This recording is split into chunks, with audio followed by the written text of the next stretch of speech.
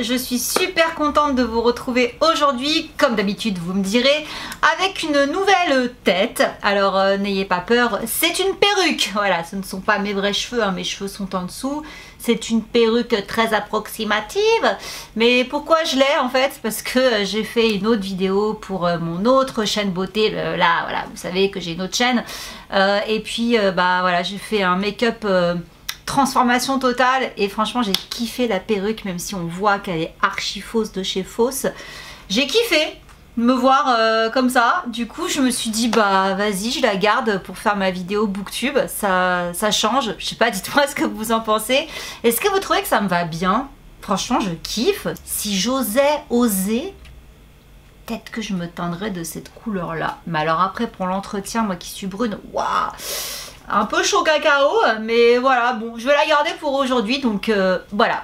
Et si vous êtes prêts, c'est parti avec la vidéo. Donc, je vais vous parler de mes, de mes minuscules lectures, mais cette fois-ci, je vais vous en parler de manière un petit peu plus détaillée, dans le sens où je vais spoiler. Donc voilà, je vais vous prévenir quand je vais spoiler certains livres, donc euh, vous aurez qu'à avancer euh, tant que vous ne verrez pas avec un autre livre dans les mains, voilà, vous, vous savez que j'ai pas fini quoi. Donc euh, vous attendez que j'ai changé de livre, vous attendez de voir si je vais spoiler ou pas, et ainsi de suite. Mais en fait, il n'y a pas beaucoup de lecture parce que ces temps-ci, je, lis moins. J'ai eu du mal avec le signal de Maxime Chatham. Il m'a pris une semaine tellement qu'il est énorme ce livre. Et en ce moment, je me suis mise dans le coloriage. du coup, euh, colorier et lire en même temps, c'est un peu compliqué. Et euh, bon, bah voilà, du coup, je, lis moins en ce moment. Alors, euh, j'oublie pas mon Pumpkin Autumn Challenge, hein, mais je me prends beaucoup moins la tête. Je, je lis à mon rythme. Voilà, si je veux faire d'autres choses, bah je fais d'autres choses. Et puis, bah tant pis. Mais pour l'heure, j'ai quand même quelques petites lectures à vous présenter. Donc, j'avais terminé ce livre-là, qui n'était pas dans mon pumpkin, mais dans une autre pile que je m'étais fixée. Il s'agit du numéro 2 du Pays des Contes. Donc là, c'est euh, le retour de l'Enchantresse. C'est de Chris Colfer et c'est aux éditions Michel Lafon.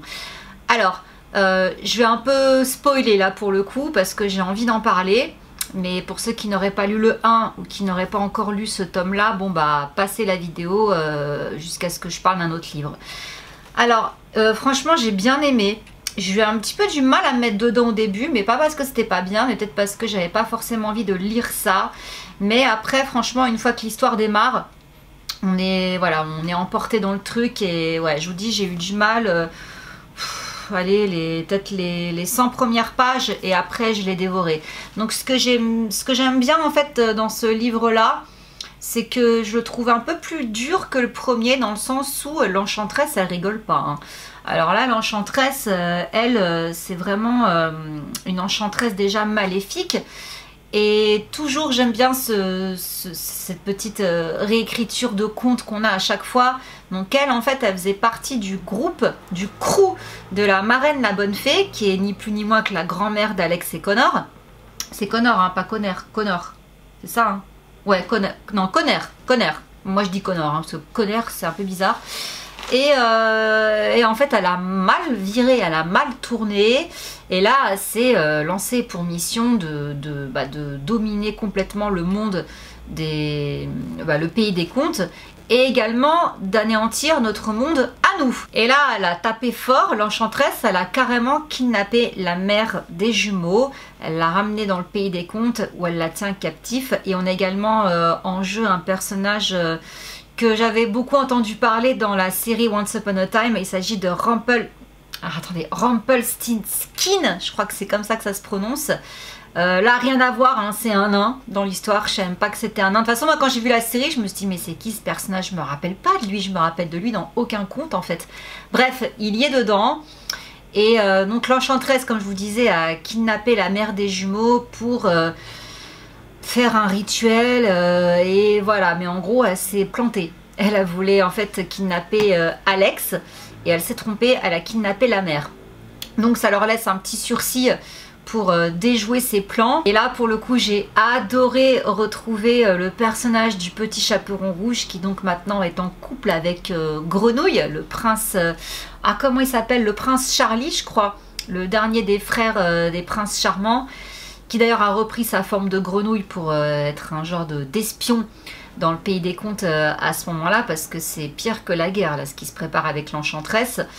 Et, et, le petit chaperon rouge est à mourir de rire. C'est vraiment, elle me tue quand je lis les répliques qu'elle sort. En plus, elle peut pas se blairer avec euh, Boucle d'Or, parce que Boucle d'Or donc est en couple avec euh, Jack euh, du haricot magique, et Petit Chaperon Rouge était amoureuse de lui, donc bref voilà, il y a encore des petites frictions, mais voilà, même si elle est avec Grenouille, il y a encore une guéguerre qui subsiste entre elles, et le duo me fait mourir de rire, quoi. Elles sont vraiment excellentes toutes les deux, mais ouais, c'est vraiment pour moi un des personnages phares du roman, même si elle n'est pas tout le temps mise en avant, c'est pour moi un des personnages pardon, les plus intéressants et les plus drôles. C'est vraiment le petit chaperon rouge que voici. Alors en plus, elle se met à adopter euh, un loup qu'elle prend pour un chien.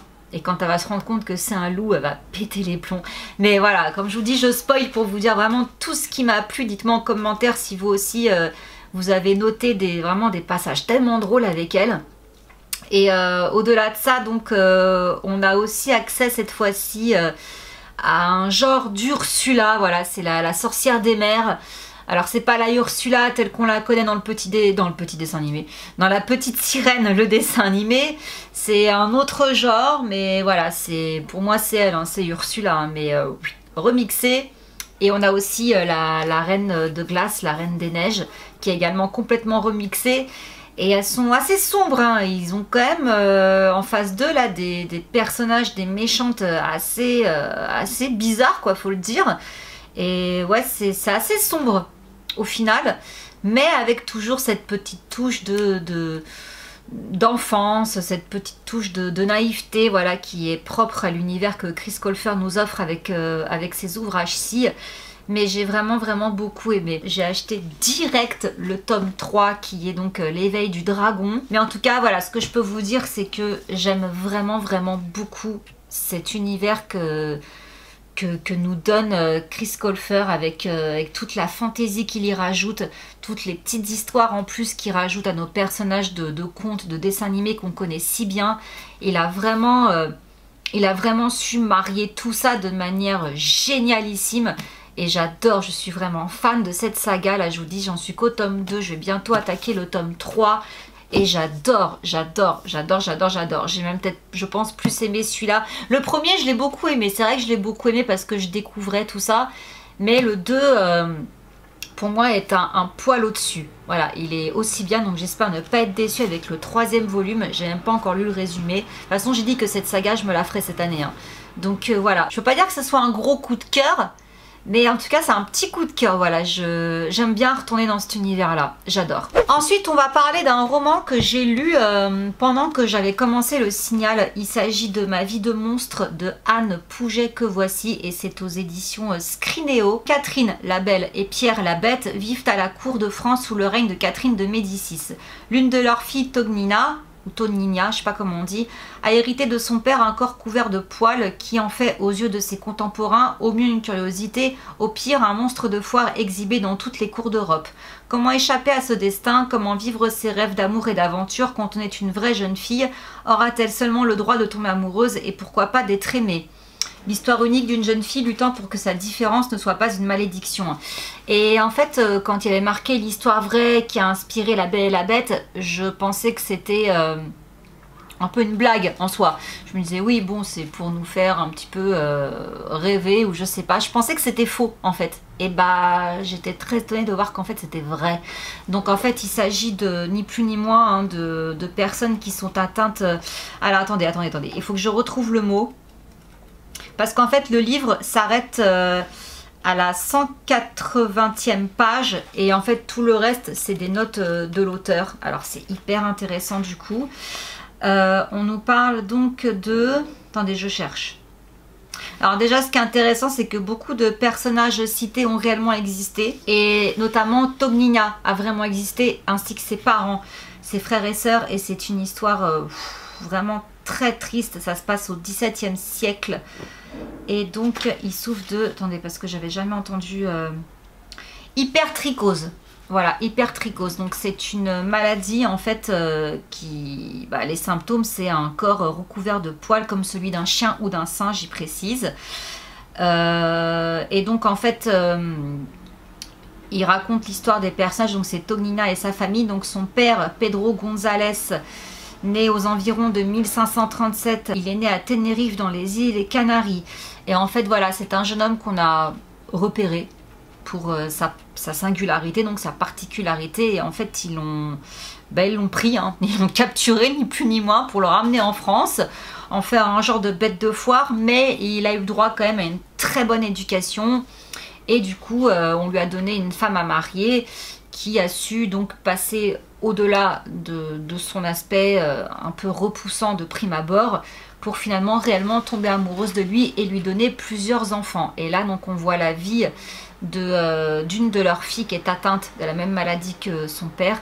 Il me semble qu'il y en a deux ou trois qui sont atteints du même mal que leur euh, Et donc voilà, ils sont sous, sous le protectorat, on va dire, de, de, Catherine de Médicis, mais elle en fait quand même ni plus ni moins des bêtes de foire. C'est que quand elle reçoit, voilà, eux ils viennent, euh, ils dansent, ils font, voilà, ils, ils, épatent la galerie pour, euh, pour se montrer, genre, oh, même si elle a l'air d'un singe, bah, elle sait parler, elle a des bonnes manières, elle a de l'esprit, ils savent danser, les danses de la haute, enfin voilà. Et à un moment donné, le vent va tourner et euh, ils vont se retrouver euh, séparés, ils vont, ils vont être vendus par des gens. Et Tomila va se retrouver toute seule donc chez quelqu'un. Elle va faire la connaissance là-bas d'un médecin qui va s'intéresser à son cas et ne pas la traiter comme une bête. Mais c'est très triste. Franchement, je m'attendais pas à ça, mon Dieu. Surtout, en fait, ce qui m'a mis une claque, c'est que je le lisais, je me disais, oui, bon, il a rien d'extraordinaire en soi, voilà, ça, ça va très vite. Hein, c'est Franchement, il se lit hyper facilement. Mais au final, plus on avance, et plus euh, il y a des choses qui nous interpellent, des détails, des personnages qui nous interpellent. Et, plus ça va, plus ça devient dur. Voilà, surtout quand elle se retrouve séparée de, sa famille. Ça m'a vraiment, ça m'a fait mal. Ça m'a fait très mal. Surtout, Tognina est un personnage hyper attachant, très pur, naïf et en même temps pas tant que ça. Elle est consciente de, sa situation, mais elle aimerait tellement changer, elle aimerait tellement qu'on puisse la guérir. Or, il n'y a pas de remède. Et quand j'ai fermé le livre et que j'ai vu que c'était une histoire vraie, ah, c'est là que je me suis pris un coup de massue. Et d'ailleurs, j'ai direct été euh, googler euh, tous les noms. Et effectivement, je suis tombée sur un des vrais portraits de Tonina. Euh, je vous l'afficherai juste ici, là. Et j'ai lu du coup l'histoire de son père, l'histoire de sa famille. Alors, il y a certaines parties romancées, mais d'autres qui le sont pas du tout. Et je trouve même que le livre finit mieux que ce qui s'est passé dans, dans la réalité. Et voilà, il il m'a pas du tout laissé indifférente ce roman. Il m'a pas du tout laissé indifférente. Il m'a bouleversée.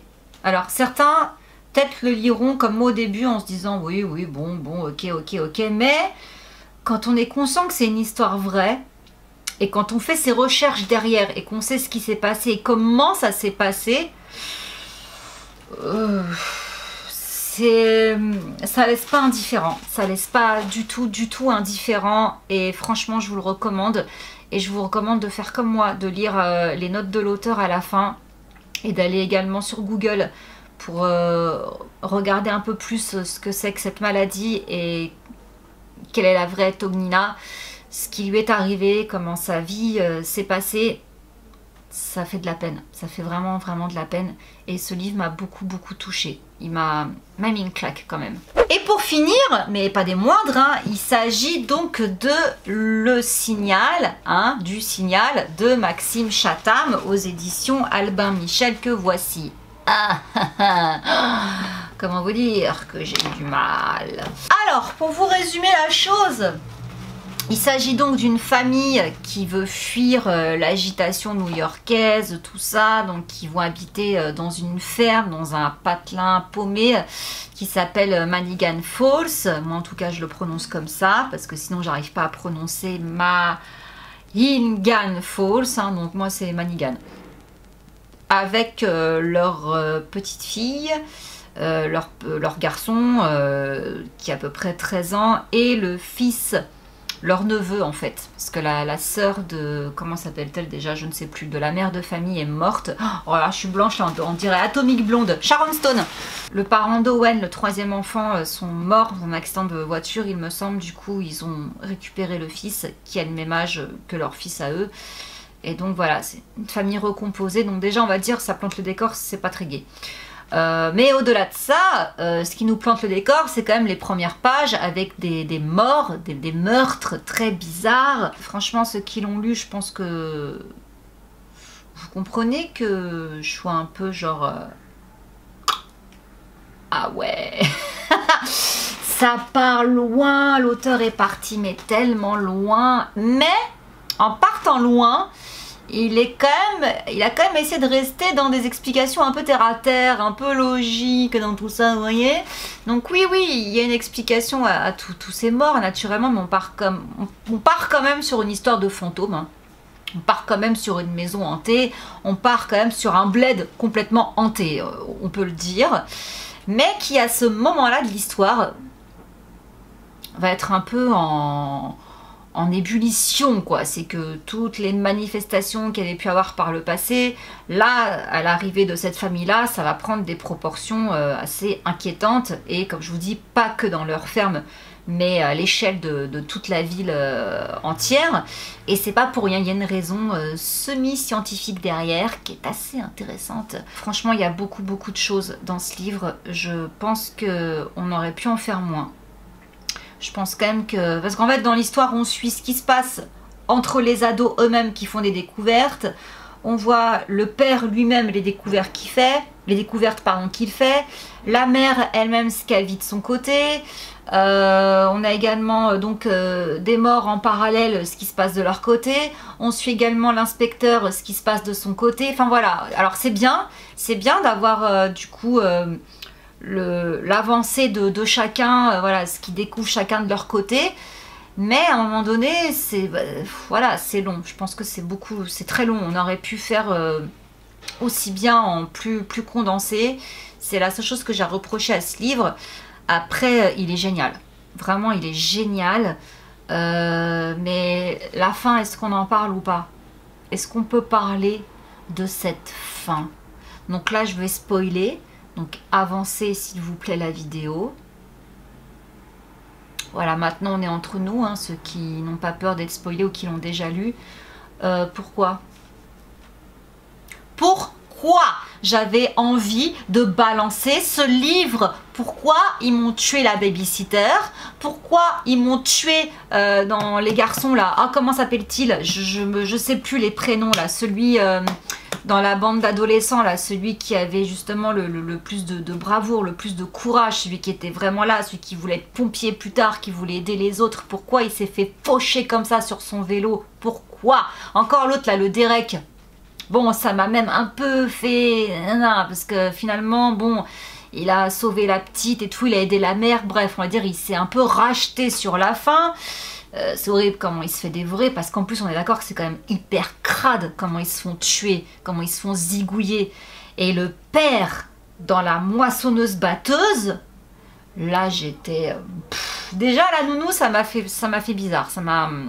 Gemma j'ai pas trop kiffé. Mais alors après, quand j'ai vu la mort de... Ah, comment il s'appelle? Je me rappelle plus comment il s'appelle. C'est pas Connor, il n'y a pas encore un Connor là-dedans. Je crois que c'est Connor. Connor, j'ai pas kiffé. Connor, c'est un de mes personnages préférés. Euh, j'ai pas kiffé du tout sa mort. Non, pas du tout. Euh, le père, oh là, ça a été le pompon, ça a été la cerise sur le gâteau. Même le petit vieux, là, leur voisin, là, qui répare la bagnole et tout, j'ai pas, pas aimé comment il se fait tuer avec, oh, les enfants araignées. Oh, alors ça, c'est une hantise pour moi. Je sais pas si vous avez déjà entendu parler de la femme araignée, on la voyait sur YouTube. Ça m'effraie, mais ça m'effraie.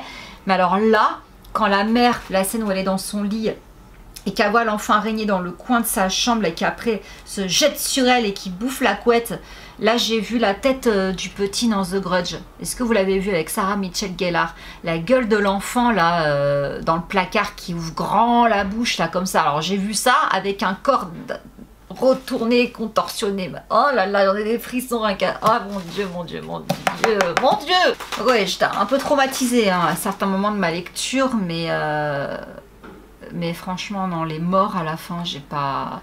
Ça m'a cassé le truc. Ça m'a cassé, mais cassé. J'étais pas. Ah, j'étais colère. Et puis, du coup, la mère, la pauvre, à la fin, qui essaye de faire du spiritisme là pour, euh, pour parler à son mari, Meskina elle m'a fait trop de la peine. Le flic aussi, euh... ouais, même la fliquette aussi qui est morte. Moi, je pensais qu'il allait se passer un truc et tout, mais non, c'est pas des films, euh, des films. C'est pas des livres, pardon, qui sentent le happy end, donc forcément. Mais j'étais dégoûtée. J'étais tellement dégoûtée, tellement dégoûtée. Et c'est peut-être pour ça d'ailleurs que ce livre m'a autant marqué, c'est que déjà il est assez extraordinaire. Hein. Euh, la plume de l'auteur, euh, euh, elle est bien, elle est juste, elle est ce qu'il faut, elle est fluide, elle est, elle est très bien. Il y a trop de choses, à mon sens. Voilà, encore une fois, on aurait pu faire plus court euh, et tout aussi bien. Mais il est tordu, Maxime Chatham, euh, moi qui parlais de Franck Tilliez, mais je crois que lui, il a un level encore plus au-dessus. Et aussi, en fait, ce, que, ce qui m'a un peu gonflé, c'est qu'au final, bon, ça, ça traîne un peu pendant, pendant beaucoup de passages. Et alors, à la fin, bah C'est l'apocalypse, quoi. Alors là, les je sais pas combien de dernières pages, euh, peut-être les 60 dernières pages, je sais pas, ça n'arrête plus là. Ça se passe en une soirée et là, ça y est, on est euh, attaqué de partout. C'est l'apocalypse le truc. Mais oui, bon, quand même, je peux pas dire, euh, il m'a énervé. Il m'a énervé de par le choix des, personnages éliminés, mais il est très bien. Il aurait pu être plus court. Ça aurait été un coup de cœur s'il avait été moins long. Voilà. Et eh bien écoutez, euh, voilà, c'est terminé pour aujourd'hui. Donc euh, j'ai quand même pas mal parlé. Hein. Là, euh, j'avais quand même envie de parler de ces livres. Voilà, j'ai spoilé. J'espère que vous avez coupé au moment où il le fallait. Et puis bah sur ce, je vais me remettre à mes petits coloriages et je vais attaquer aussi Terre de brume. Voilà, c'est mon prochain que j'ai là dans... Je l'ai préparé. Je vais le lire ce soir dans mon petit dodo. Donc voilà, j'espère encore une fois que ça vous a plu. C'est n'hésitez pas à liker la vidéo. Pour vous abonner, c'est juste en dessous. Cliquez aussi sur la petite cloche pour ne pas me perdre de vue quand une vidéo sort. Et je sais pas pourquoi je fais des trucs comme ça avec mes bras, c'est ridicule. J'espère que ma petite coupe d'atomique blonde pink vous aura plu aussi. Et puis voilà, je vous fais plein plein de gros bisous. Je vous souhaite de très bonnes lectures et je vous dis à très bientôt pour une prochaine vidéo. Bisous, ciao